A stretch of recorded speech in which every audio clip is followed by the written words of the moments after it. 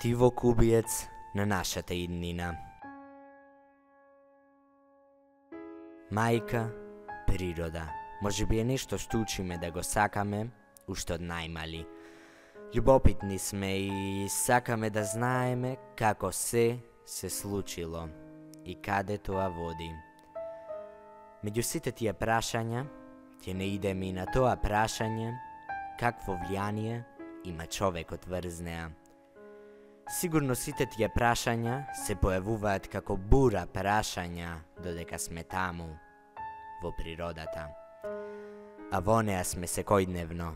Таа е нашиот дом, таа ни ја дава можност за живот. Тука постоиме. Тука треба да раснеме, да се радуваме и живееме.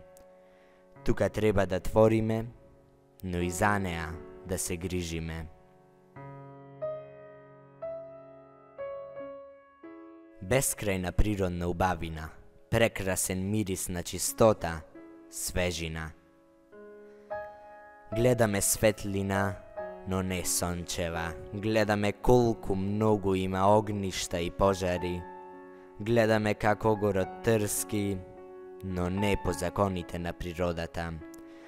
Тоа се закони на беззаконието и суровоста на човекот. Гледаш езеро и бистра вода, обвиени со чат и сивило. Гледаме дека никој не се грижи за тоа, како да изгубе на сета надеж кон тоа да се зачува природата. Огништа, огништа и огништа на сите страни. Чиниш дека планетата ќе се угуши и живиот свет заедно со неа.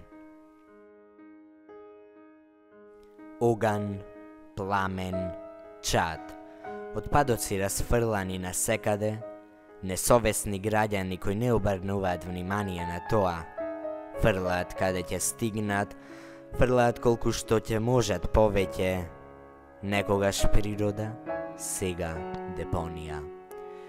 Природата создава и ќе создава многу дрвја и останати прочистувачи. Поминале векови, додека се создало сето тоа, поминале секунди, додека се уништило тоа. Трагично е гледајки како децата живеат низ најголемите отпадоци, живеат во најзагаден воздух, нивото на загаденост е се поголемо и поголемо, Безнадежно е да ги учиме децата на тоа да ја сакаат својата природа и чуваат, кога секојдневно гледаат луѓе кои што само уништуваат и палат. А нималку не придонесуваат во одржувањето на неа. Се што може да видиме, каде и да погледнеме, безнадежно е.